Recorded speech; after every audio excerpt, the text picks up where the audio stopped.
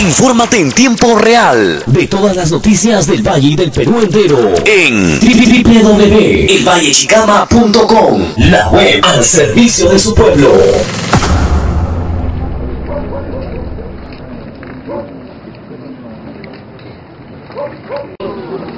Su cuerpo sin vida fue hallado cerca a la puerta de su casa, una nueva víctima de la delincuencia que viene azotando Cartavio, pues esta sería ya la cuarta víctima de los llamados sicarios que entran y salen de Cartavio como en su casa, sin que nadie logre identificarlos.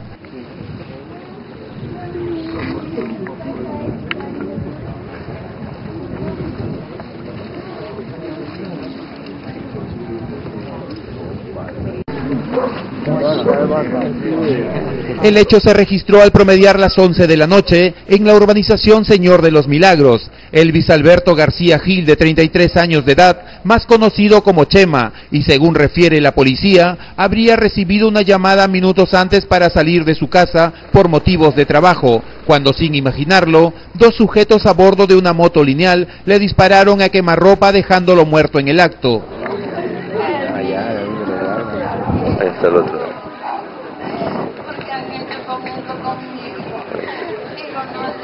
Ahí está el otro aquí, así, ahí está. Están los cosquillos.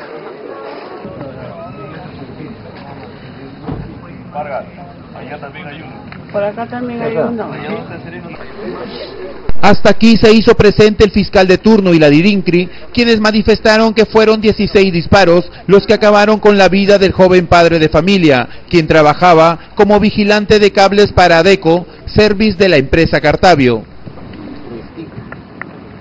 Bueno, eh, en primer lugar, la Fiscalía Provincial Penal Corporativa de Escote se ha personado con personal de, de Pincre y de Paiján y personal de la Policía de Cartavio a efectos de realizar las diligencias urgentísimas como es el levantamiento de cadáver y un estudio minucioso de la escena del crimen.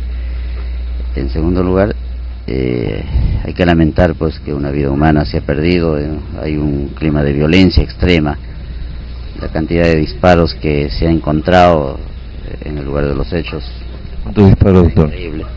Bueno, eso está por determinarse en la diligencia de necropsia correspondiente, pero por la cantidad de casquillos, un total de 16 casquillos y proyectiles, parece que el, el, el hecho ha sido demasiado violento.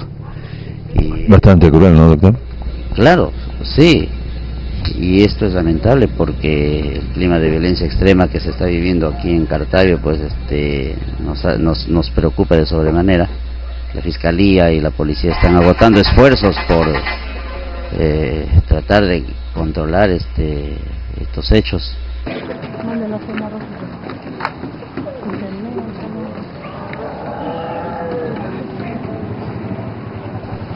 La policía viene investigando el caso, pues se sabe que el asesinado habría venido recibiendo amenazas constantes, por lo que no se descarta un ajuste de cuentas, algo que sin duda convierte a Cartavio en una zona insegura en donde la delincuencia organizada viene haciendo de las suyas, por lo que la policía, gobernación y municipalidad deberían hacer algo urgente uniendo fuerzas para devolverle a Cartavio la tranquilidad que siempre la caracterizaba un nuevo asesinato que enluta a una nueva familia en Cartavio.